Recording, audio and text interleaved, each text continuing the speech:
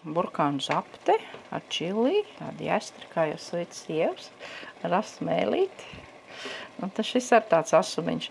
Nav tā, ka trīs dienas mutes stāv vaļā, bet ar vienu varbūt ka pietiek. Liels krājums netaisu un, un, un daudz es nevāru, jo man nav mērķis konkurēt ar lielajiem mm, ražotājiem, jo tas ir kā suvenīrs Alsungas ciemiņiem, kas atbrauc un, un, un, un viņi grib kaut ko aizvest projām. Gatavoja arī citus suvenīrus. Nevienmēr grib tādu taustām, jo kur to štruns liks pilmāju, bet ir grib tādu, kas paņem līdzi Un, uh, un tad ir kaut ko apēst, kaut kādas atmiņas, un sazina, kas tur vēl. Kad 2017. gadā suitos meklētas jaunas garšas, Alsunsniece Laila Puķīte nolēmusi atbalstīt pasākumu rīkotāju un piedalīties.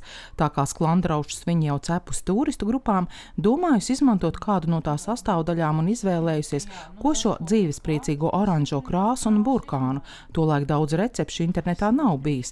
Viņa veidojusi savu un izvārītā burkānu zapte, guvusi labas attīstības atsauksmes. Pēc trim gadiem Lēla reģistrējusies kā mājražotāja. Man nebija tajā brīdī doma, ka es tagad vārīšu. Nē.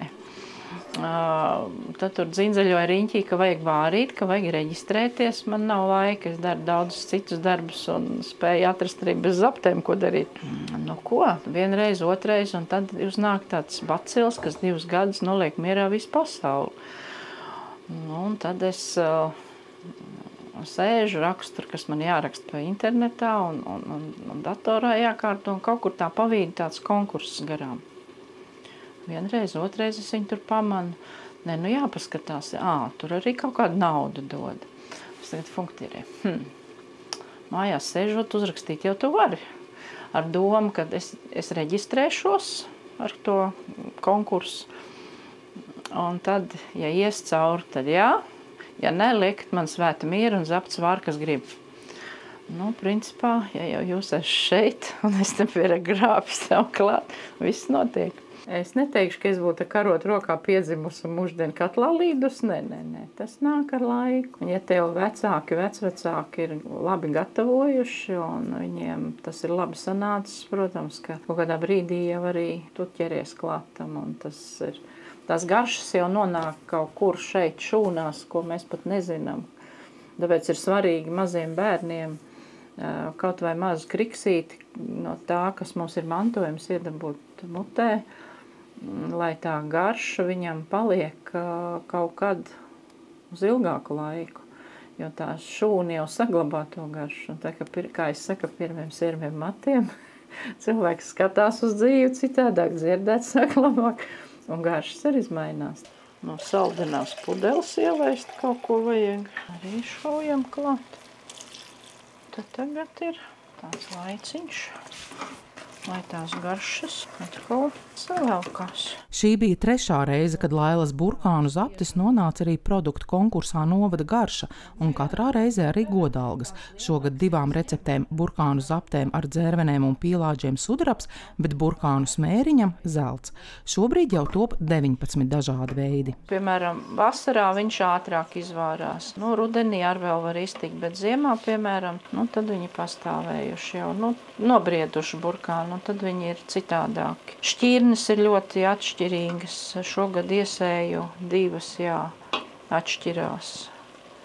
Tad sākumā visu rīvēju rokām. Un es te vīrs palīdzēju, nu tad, tad es piepirku elektrisku rīvi. Un tad pa veikalu staigāju dumju bija. Man bija veca, veca krievu laika, nu, padomu laika rīve. Un, uh, un viņai ir, ir viņa tā labs tas izmērs ir. Tagad es nopērku jaunu, jo vecā jau nolietojās. Nopērku jaunu, arī vai kaut kas nav. Izrādās, viņa kaut uz kaut ko taupa, uz, uz, uz caurumu taisīšanu.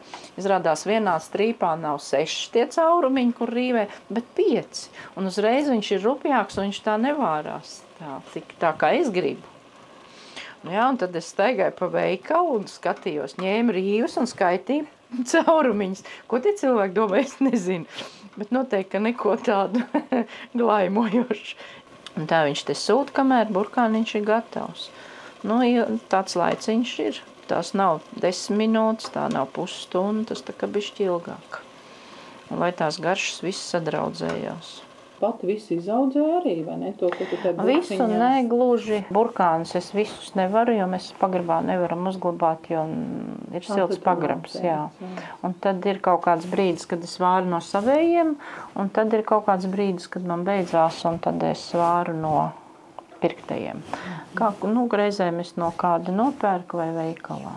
Dažādi ir.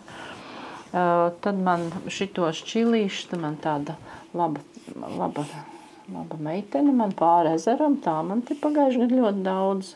Nu, šogad es pati izaudzēju, jā.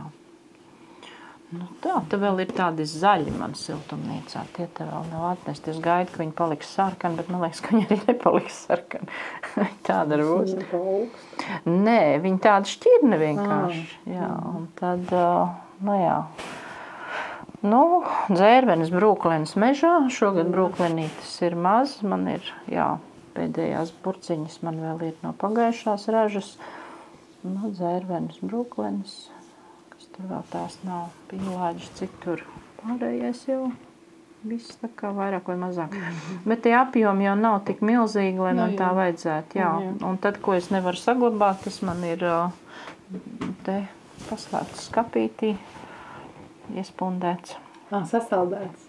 Kas Jā. tas ir? No čilīšas, piemēram, viņi jau man patīk, ka viņi ir Jā. šitādi, Jā, nevis jā, jā, jā, sakaltuši. Bet nesas vārījis arī ar tādiem. Un, un, un tad saliek jau pa porcijām to, ko man vajag. Ā, un ingver arī es pērku. Un garšas, jā, nu, sākums ir tas, vai man pašai patīk. Tad es kādu meklēju. Protams, ka tuvāk ir vīrietis, bērni. un tad ir tāda dziļu domu reizēm uzdāvinu. Es zinu, kad ir cilvēki, kam, kas ir tādi garšu cienītāji dažādi. Tad es ar dziļu domu uzdāvinu, lai, un, tad es klausos atsauksmes. Jā, bet nu, e, cilvēki ir dažādi. Un tad katram tā garša izjūta jau ir citādāk. Un tad katrs to savu pasaka no sava skatu punkta. Un, un nav jau teikts, ka es to, ko pasaku, es tagad pēkšņi izmainīšu tā, kā, kā saka. Nē, tur veidojas atkal kaut kas cits. Burkānu zapšu vārīšana ir Lailas hobijs. Viņa ir vizuālās mākslas, dizaina un tehnoloģijas skolotāja Alsungas pamatskolā, dziedas uitu sievās, ir rokdarbniece, nodarbojas ar keramiku un darina tautas tērpus. Lailas vadībā tie tapuši arī Briselē un Minsterē. Tas, ko mēs te Latvijā nenovērtējam, ka mums rokdarbu ir ļoti daudz, visu laiku mācību programmā bijuši, tagad jau ir citādāk. Bet ārzemēs tā nav. Un tad tur uh, ir cilvēki, kas ir lepni, ka viņi spēj iešūt pogu. Viena meitene pie manis šo tautas tērpu ar māsu. Un tad uh, um, viņiem vajadzēja jaunus tērpus, jaunas lietas. Un rakstīja projektu un sūtīja Nu, mani uzrunāja pa priekšu, vai es esmu gatava. Es domāju, pa ko nē. Ļoti interesanti, kā pieredze būs. Ir arī interesanti, forši cilvēki, un, un viss ir jauki. Un tad, uh,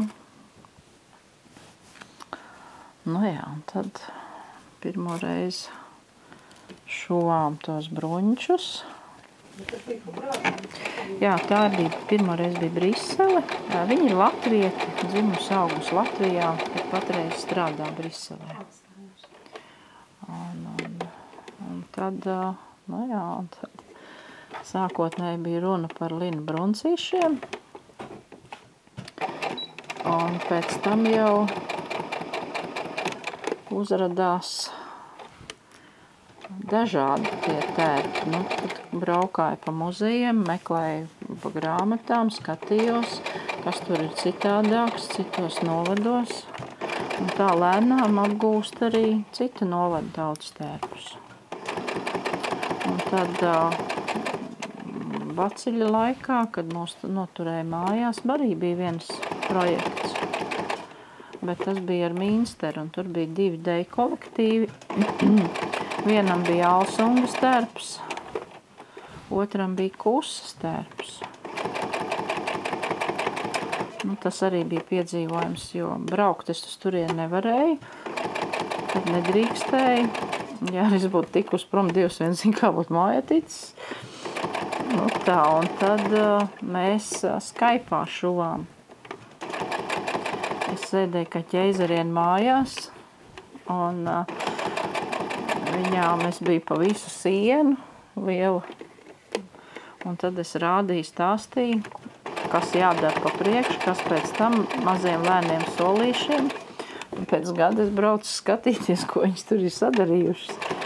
Jā, nu, cilvēki ir dažādi, katram ir nu, savs temps un tā tālāk, bet vairāk vai mazāk tur ir ļoti uzņēmīgas meitenes, kas vienotrai ļoti palīdz. Jā, un šogad man bija milzīgs prieks tikties dzīsmu svētkos ar tiem cilvēkiem un, un redzēt, ka viņi ir tais mūsu kopējos brun, nu, šūtajos bruncīšos un nu, tā patīkami. Un jāteic, ka sklandrauši Lailas rokās pārtop arī par rotas lietām, sadzīves priekšmetiem un dekoriem. Un ar keramiku es esmu jau no otrās klases draugos, ja tad bija Ilona ratiniec. Mhm. Un tad, jā, tad viņi piesaistīja mani. Un tad, jā, Un tad es mm. kaut kādā brīdī sāku taisīt arī šitādus. Tā arī. Nu, te ir, jā, tu vari salikt cepumiņus konfektītus. Man patīk, kad, nu, ja ir vāra kaut ko ēst un nav ko likt, nav ko likt to karot, tur uzlikt pa virs. Tad ir īpašais šķīvītis ar, ar burkāniņiem, kurus nes kāpēc grib vienmēr nokasīt tirgu nost. Nu jā, tur arī var visādas kārumus likt. Nu, kā es saku, visur liek makaroņus uz ausēm. Mums jau īsti sveši mantu nevajag, mums pašiem savējā. var arī sklanderaušu uz ausīm uzlikt. nu tā.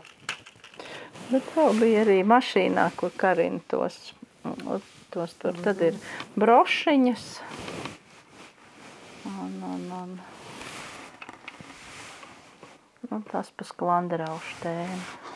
Un te ir vēl visādi knibuļi. Vīriešiem aproču pogas. Ah, paskaties un izmanto ar? Jā, man pat pasūtīja. Aha. Aizgāju kaut kur tālāk. Tā burkāna pasauli ir ļoti interesanta. Ļoti forša un nebūtu garlaicīga. Daudzas tās lietas tu tāpat vien nevar izdarīt, tās visas viena otru papildina un bagātāks tu paliec vienkārši. Bet ne jau ar naudu, par naudu ir runa, bet tas, ko tu piedzīvo, kā tu jūties, kāda cilvēka tev ir apkārt. Idejas ir daudz, daudz, tikai jautājums, vai tu viņas visas realizēsi kaut kad, vai tas tā paliks tikai ideja līmenī. To arī neviens nemāk pateikt ne tagad, ne šodien, ne rīt, ne parīt.